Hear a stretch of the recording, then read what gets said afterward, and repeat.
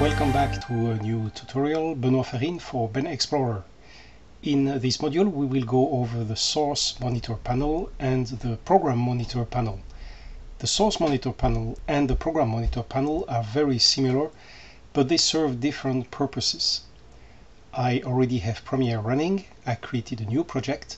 The name and the location of the project does not matter.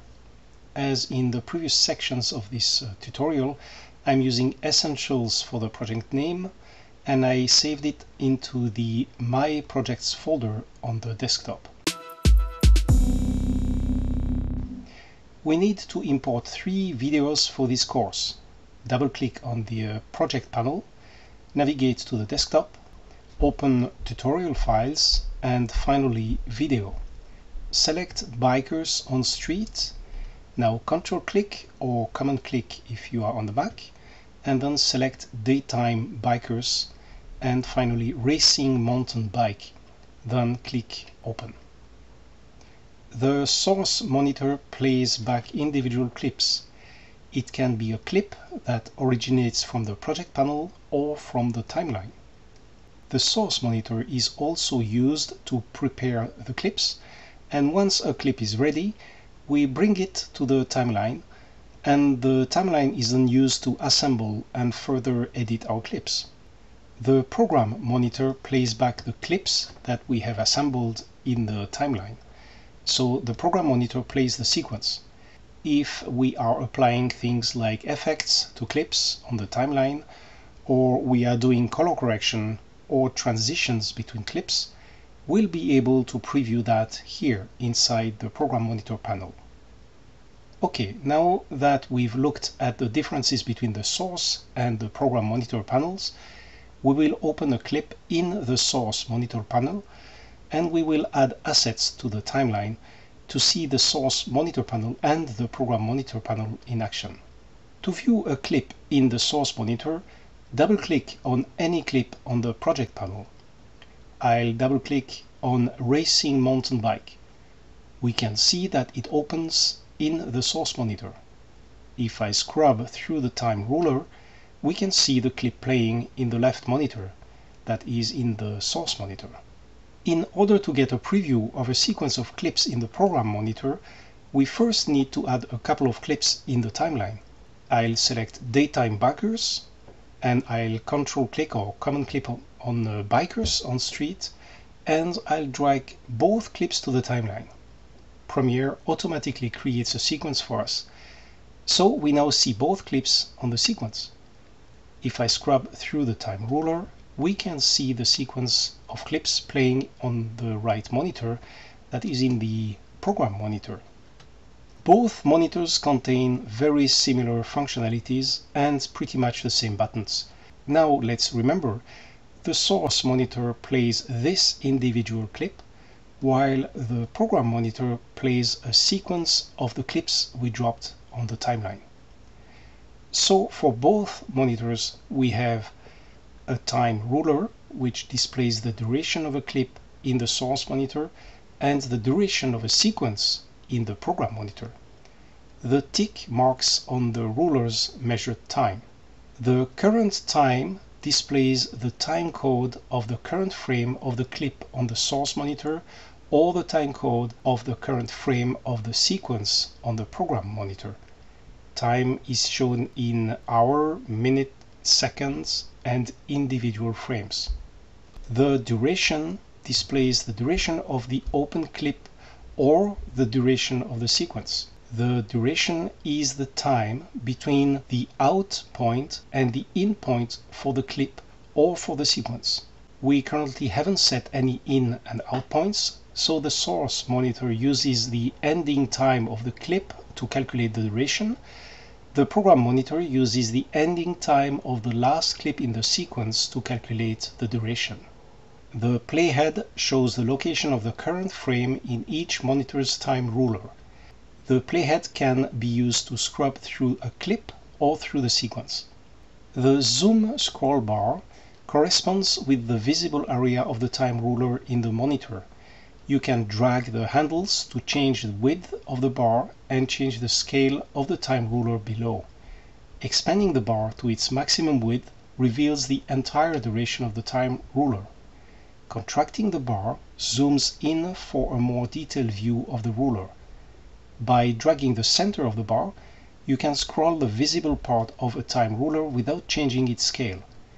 When you drag the bar, you are not moving the playhead, however you can move the bar and then click in the time ruler to move the playhead to the same area as the bar. The play button plays the clip or the sequence. Click on the button again to stop. You can also use the spacebar to start and to stop. The L key acts as the play button the J key plays reverse. Click step forward one frame and step back one frame buttons to move either forward or backward one frame.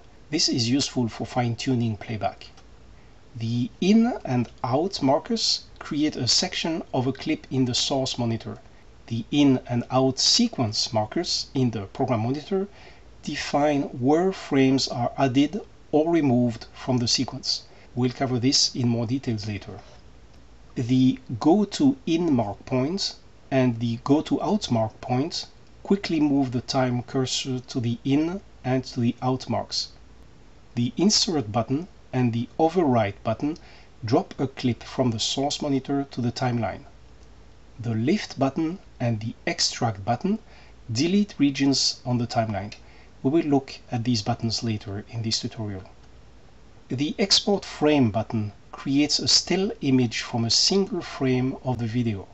So clicking on the button will export the frame we see here on the source monitor into an image file on disk. The same functionality is true for the program monitor. The scaling options controls the scaling of the video in the monitor. Fit scales the image to fit into the available area. You can increase the magnification setting to see a video in more detail Scroll bars appear when the current size of the monitor can't contain the entire image. To change the visible area of the video image, use the scroll bars. You can also decrease the magnification setting to see more area around the clip. This is used to adjust motion effects, for example. Use the Button Editor button to customize the transport controls buttons that are listed along the bottom of the source monitor and the program monitor we can add, remove, and reorganize these buttons to best suit our needs. The drag video button and the drag audio button are specific to the source monitor. Use the drag video button to only drag the video without the audio to the timeline. Use the drag audio button to only drag the audio without the video to the timeline.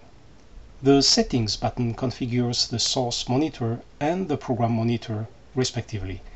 Click on the Source Monitor or the Program Monitor Settings button. This opens up several settings. The Mode Selection option changes the viewing mode for composite video to a range of video scopes. This is mostly used during color and brightness correction. In this tutorial, we will focus on composite video. Some video formats are very complex to display in full motion playback due to high data compression rate. In such cases, the playback will be choppy we can help by lowering the playback resolution and allow for faster motion playback. But note that this decreases the quality of the display. This is only shown during preview. It does not affect the final media when the media is exported. So to get smooth playback, decrease the playback resolution. But we should maintain a high paused resolution. That way we'll get a high image quality when playback is paused. The high quality playback further increases the playback quality. But note that turning this setting to on will more likely cause dropped frames during playback. Also, this comes with very little quality improvements. Adobe recommends to have the high quality playback set to off for real-time playback. The interlaced display control displays the first field, the second field, or both during interlaced footage. The interlaced settings are disabled when a progressive clip is opened or when the video fields in the sequence settings is set to progressive. Select Safe Margins to view the Action Safe Zone and the Title Safe Zone in the Source Monitor and in the Program Monitor. Selecting this will display Safe Zone guides on the monitor, but the guides are not shown when the project is exported. Using those guides will ensure that essential portions of our image can be seen on virtually any TV sets. The Show Dropped Frame indicator will display a small indicator in the program monitor. The indicator turns orange when frames are dropped during playback. This is useful as it can help us determine whether or not we should adjust the playback resolution in order to reduce the loss of frames during playback. You notice that the program monitor panel and the timeline panel both have a time ruler. Since the program monitor plays the sequence of the clips in the timeline, both time rulers remain in sync. So when I move the playhead in the program monitor, the sequence is playing too. The time codes are in sync. And when I move the playhead here in the timeline, the program monitor playhead follows. So in this module, we went over the source monitor panel and the program monitor panel. We learned that the source monitor plays back individual clips and that the program monitor plays back a sequence of clips. Both monitor panels provide similar functionality, and both can customize several playback options as well as the transport controls. In the next module, we will continue to study the source monitor and the program monitor. We will learn about setting and using in and out points. In the source monitor panel, in and out points are used to define subsections of a video clip. In the program monitor panel, in and out points are used to define frames that are either added or removed from a sequence.